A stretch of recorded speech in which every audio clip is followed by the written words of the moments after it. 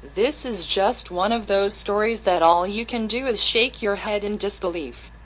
Police were called when a naked Norman Oosterbroek, owner of the security company RAD, entered a mansion uninvited on his street Tuesday, September 3rd.